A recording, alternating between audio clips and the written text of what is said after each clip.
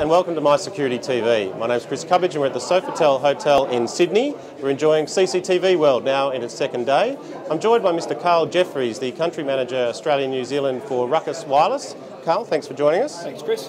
Uh, tell us a little bit about Ruckus Wireless. Uh, it's an international company, I understand. Yeah, Ruckus is a uh, American company based in Silicon Valley, been going for about six or seven years.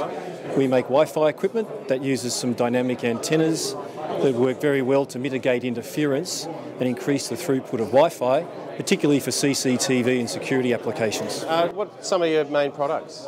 Well, our main products are our wireless access points, and an example of this one, which I think you can see, you can see our antenna section is designed to uh, uh, mitigate interference, right, and provide very focused throughput right, for meshed video cameras. Right, for wireless CCTV? Very much wireless. So it's a matter of you can set up the cameras wherever you like uh, and it's picking up uh, through this uh, through this box here. Correct, yeah. Apart from the robust Wi-Fi transport, the ability to mesh these cameras without running a piece of Ethernet cable makes it very cost effective to install them in difficult outdoor places. Right. And what type of applications have you had? We're having a lot of success with port authorities, uh, warehousing, retail, Uh, a lot of council applications, pretty much everywhere that CCTV is required. Across the board? Yeah. And your view on the market, are you finding that migration across from analogue to, to digital uh, is increasing, or have you found any trends yeah, there? Very much. The trends that we're seeing are the, the melding of the IT sections of a company with the security guys, because IP cameras are now requiring input from both people.